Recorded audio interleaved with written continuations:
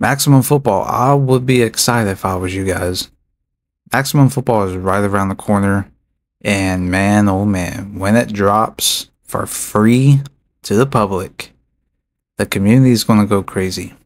They're trying to stay under the radar, silent, developing, you know, polish the game up more, making sure everything's good to go on release.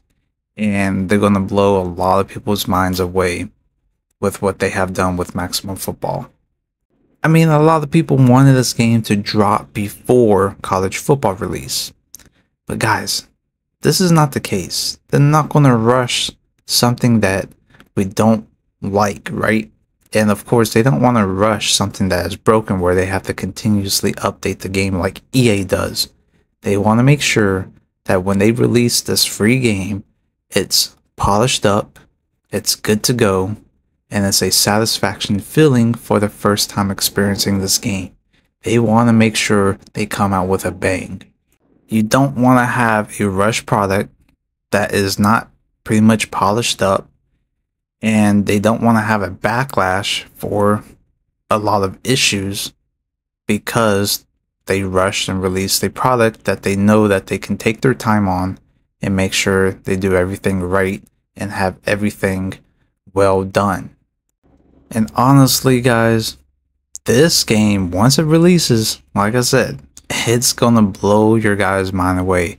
And honestly, I think they're waiting for the right time, especially after college football is released and possibly Madden, and see the downfall of both games is to release their game and expect all the people that is pretty much shining away from EA is going to come over to this game. It's a new company, it's a new game, and it's going to be another competitor that a lot of people is going to pretty much enjoy once it comes out.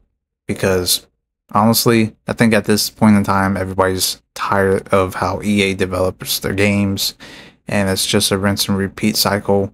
We want something new, we want something fresh, and we want something that is cater finally to gameplay focus. And not only is this game gameplay focused, but they focus on the one major mode, which is Dynasty, and we have team customization, people. Very in-depth detail, which you guys are seeing here.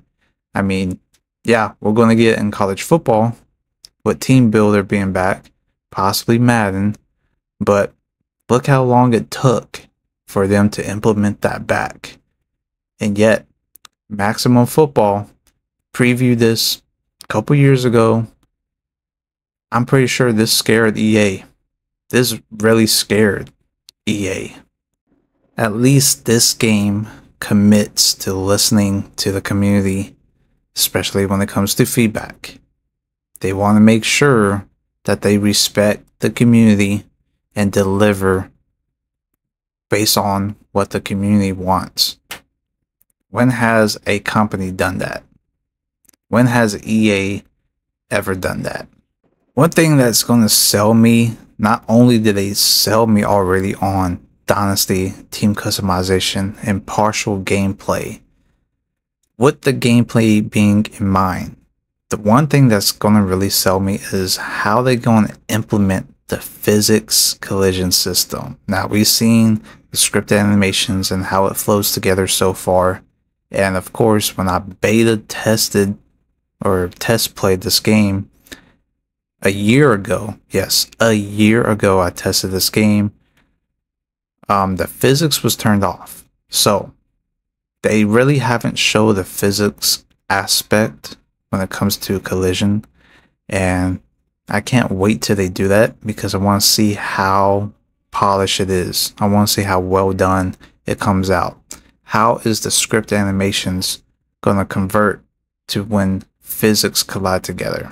That's going to be the key thing that's going to be a selling part for me when it comes to gameplay.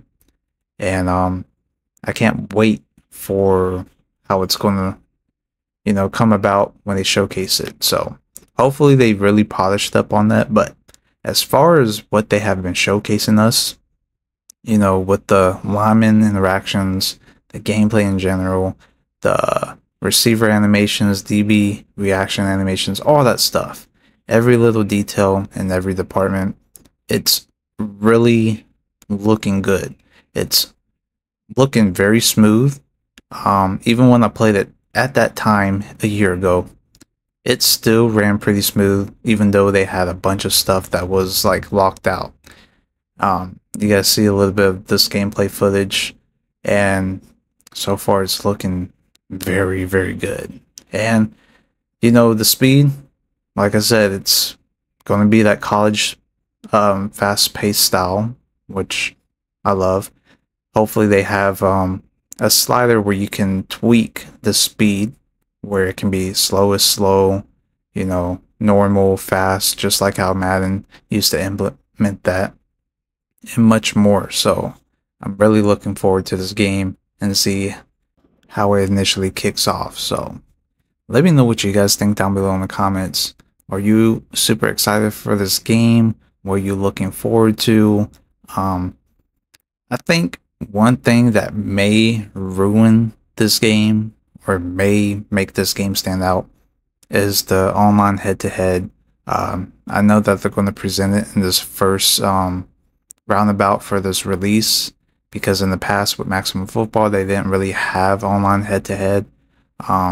So if they go about it with this, I just hope that the leaderboards reflect based off win loss ratio and is done correctly for a ranking system. But I feel like they shouldn't have had that for this first year. Probably implement it in an update later on, but it is what it is. Let them do what they want to do. And of course, a lot of people's going to want head to head, but I feel like leave that away from now because a lot of people's going to look for glitches and exploits and ruin the game. So hopefully, it doesn't come down to that.